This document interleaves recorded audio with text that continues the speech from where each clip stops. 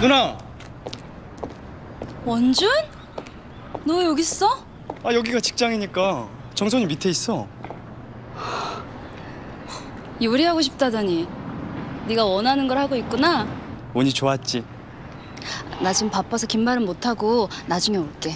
참, 너 내 전화번호 알지? 어 있어. 정선 씨 전화번호 좀 문자로 보내줘. 알았어. 갈게. 음.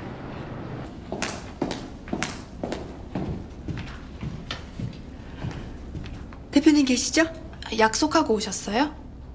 나 몰라요? 뭘 그렇게 일일이 물어봐 피곤하게 사회생활 하려면 융통성이 있어야지 오늘은 더 예쁘세요. 이쁜 거야 말해 뭐해 입만 아프지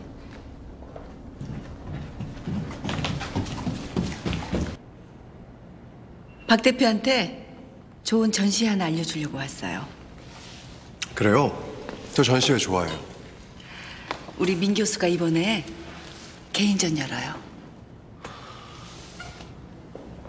아, 네.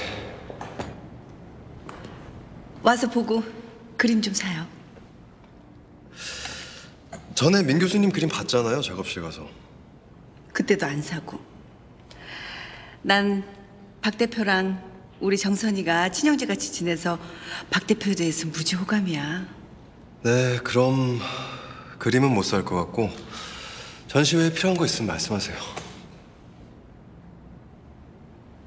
물건 필요한 건 없는데. 그럼 제가 알아서 보내겠습니다. 우리 정선이한텐 내가 여기 왔다 간 거 얘기하지 말아요. 걘 너무 깔끔해서 남한테 뭘 조금이라도 받으면 큰일 나는지 아니까. 알면 나 혼나. 알았어요, 어머니 걱정하지 마세요.